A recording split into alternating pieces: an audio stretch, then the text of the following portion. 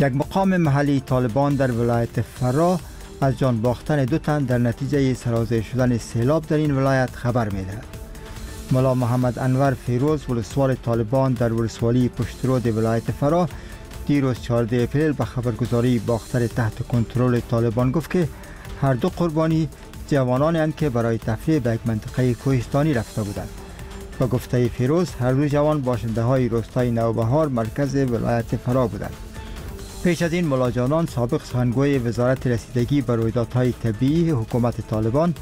دیروز گفته بود که در جریان سه روز گذشته دست کم 33 تن در نتیجه سرازیر شدن سیلاب ها در مناطق مختلف افغانستان به شمول کابل جان باختند.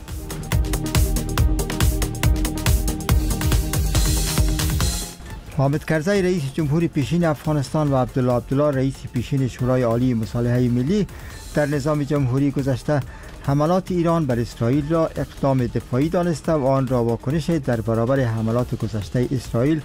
عنوان کردند. آقای کرزی شام دیروز در شبکه اکس تویتر سابق در کنار این پیام همچنان گفت که جنگ در غزه باید به صورت فوری پایان یابد و زندگی غیر نظامیان در فلسطین و اسرائیل مسئول شود.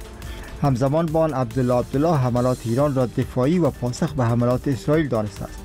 و گفته آقای عبدالله چنین بحران ها رای حل صلحآمیز می خواهد زیرا با باورش هر گونه اقدام از سوی اسرائیل در برابر ایران منطقه را آسیب پذیر می کند و می تواند بر وضعیت افغانستان هم تاثیر مستقیم داشته باشد پیش از این وزارت خارجه حکومت طالبان حملات ایران به اسرائیل را دفاع مشروع دانسته و از آن حمایت کرده بود شمار زیاد از کشورها این حملات ایران را شدیدا نکوهش کردند.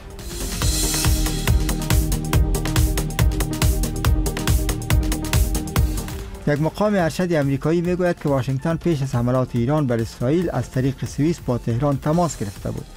این مقام که بنابر حساسیت موضوع خواسته است نامش گرفته نشود دیروز گفت که امریکا و ایران چندین مرتبه تماس های مستقیم از طریق شبکه سوئیس داشتند.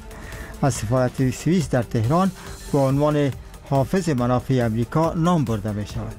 وزیر خارجه ایران ادعا کرده که کشورش 72 ساعت پیش از آغاز حمله بر اسرائیل در این مورد به کشورهای منطقه اطلاع داده اما مقام ارشد امریکایی که نامش گرفته نشده گفته است که چنین چیزی حقیقت ندارد.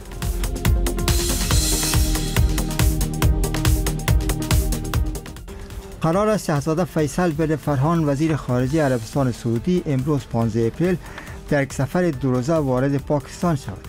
وزارت خارجه پاکستان در اعلامیه گفته است که هیئت سعودی تحت رهبری شهزاده فیصل برای گفتگو روی افزایش همکاری های اقتصادی میان دو کشور وارد پاکستان می شود و در 15 و 16 اپریل در این کشور خواهد بود. هدف این دیدار گسترش همکاری های اقتصادی دو جانبه و ویژه روابط اقتصادی معاصر